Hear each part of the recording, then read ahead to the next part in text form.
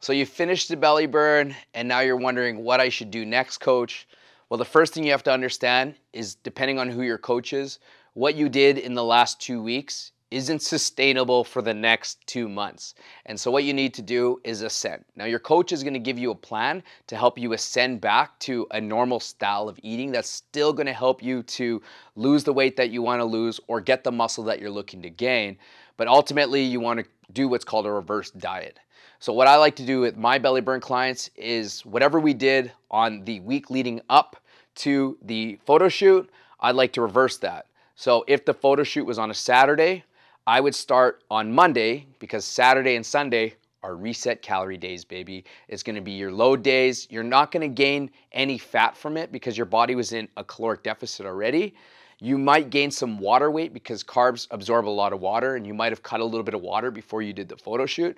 But ultimately, we wanna reverse diet it. So, what you would do is take Friday and make that your Monday. Take Thursday, make that your Tuesday. Wednesday, etc., etc. And then you could basically run a belly burn challenge into the next belly burn challenge where you start to ascend your calories. So what you would do is take your week four of the belly burn and you would make that week one of getting into the next belly burn, which could be four weeks from now. So week four is now your new week one. Week three is your week two. Week three is your week three. Week four is your week four, right? Or week one is your week four. So you can see how you started here, you dropped it down, and then you brought it back up. Now, just because the belly burn's over doesn't give you a free passage to eat and do whatever you want. You still want to get your five to six workouts a day. At the bare minimum, workouts should be your base. Now, your body and your brain and your palate has gotten used to these sweet, savory foods that you might have eaten on the Saturday and Sunday, where you're having high carbs, high sweets, et cetera, et cetera. So it might be hard to reverse it. But you have to understand that it's temporary. And after you do three or four days of clean eating again, your body will stabilize. Now, you have that mental battle of holding yourself accountable. And some people will actually team up with a couple friends where they'll hold each other accountable until the next belly burn challenge.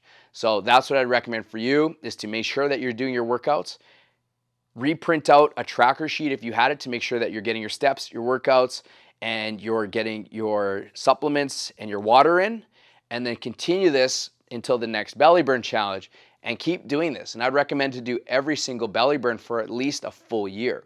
By doing this for a full year, you're going to be six to seven months of consistency because they're all 28 days. And we usually run anywhere from six to seven belly burns a year just based on how the calendar works. And so that's going to be six to seven months of you being completely on point. So that if you do try to do the nutrition part on your own, and honestly, nutrition is super tough, right? We get it. I understand it as well. So even if you fall off your nutrition, at least it's only going to be a couple weeks until the next belly burn challenge. So if you can put a full year in of six to seven belly burns, and let's say you can get two good months on your own, that means that you've only had three months where you fell off. And I'd rather take nine good months than nine bad months because you're going to see you're going to see massive amounts of results in that first year and then you're going to build up a bunch of routines that are going to be hard to fall off and you're going to show that in that second year you're going to be way more consistent your nutrition is not going to be as hard and workouts are going to be just like waking up and going for your cup of coffee